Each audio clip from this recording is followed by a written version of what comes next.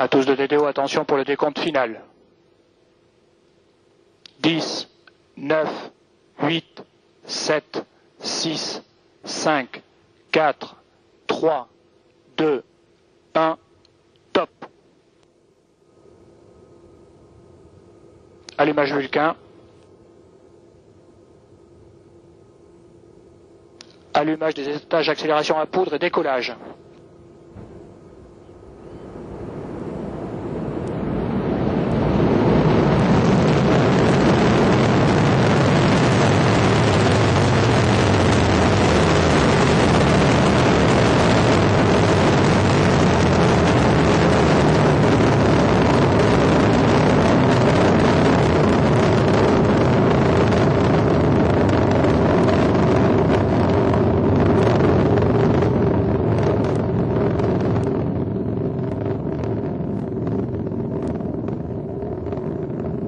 And here it is, hauling itself again, gravity of Earth, nearly 780 tons, uh, the equivalent of two jumbo jets. Uh, so after initial six second vertical climb and after rotation to the east, uh, Ariane is heading out over Atlantic Ocean. So she's burning uh, its three engines, two on boosters plus the one on the main stage. Uh, actually, boosters are doing all the work over here, and their job is to get us away from the Earth. So they need a lot of firepower to push us against gravity, and they're providing 90% of the thrust right now.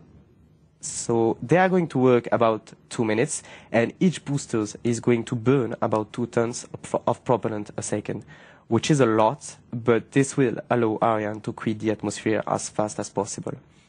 So all eyes now are on the screen uh, because you can see the trajectory. Ariane 5 is sending signals to the ground station to tell us about its status. So this screen is showing us those important parameters. The curve is representing the computed simulation of the trajectory, and the white spot on the curve, it's the actual position on the launch vehicle. And there are two other Paramètres bord normaux. important things uh, that you should keep your eye on. There's uh, the V uh, representing the velocity or speed, but also the A, which is the altitude. And just right now, you can see that you are about 69 kilometer above the Earth, and you have a speed of 2 d'accélération à kilometers per second. They have now burnt all their propellant. We do not need them anymore, and we are losing weight. So actually, we have lost about two thirds of our weight. And of course, the lighter we are, and the faster we go.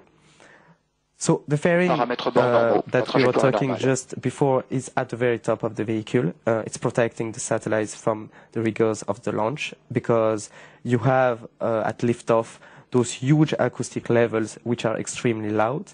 But uh, we also have uh, flux or friction because Ariane is flying through the atmosphere, which is very dense. And generally, once the boosters are Largage de la jettisoned, 50 seconds later, you have the separation of the fairing, and here it is. You can see those beautiful images on your screen. So now Captain has switched off the seatbelt signs. Uh, we are technically in space. There's no more friction. paramètres bord sont. It took us only three minutes to get into space, and we are burning right now the main stage, the core stage, which is going to burn for nine minutes, and it's powered by the Vulcain engine, which is extremely powerful, and like the upper stage, is a cryotechnic stage, which is burning about 322 kilogram a second of liquid hydrogen and liquid oxygen. So the job of uh, the second stage is to put the upper stage into what we call an intermediate orbit. So to give you some other facts about um, the Vulcain engine, we can say that uh, this motor was built in Vernon, Tous les paramètres bord in. Normandy, uh, which is in France. So we are now heading out across the Atlantic. Um, we continue our long journey, and here is Kourou, just north of the equator, and the flight path takes us virtually along the equator. We are climbing in altitude all the time, and you know uh, it's a really good position Trajectoire to launch from to be near the equator. So today um, is the second launch this year for Ariane, and it's also the 51st launch for Ariane 5. And there's no question that the last few months have been really busy for the men and women at Arianespace. So let's catch up now with the latest news. Paramètres normaux, il reste moins de 4 minutes. For its first launch of the year, Arianespace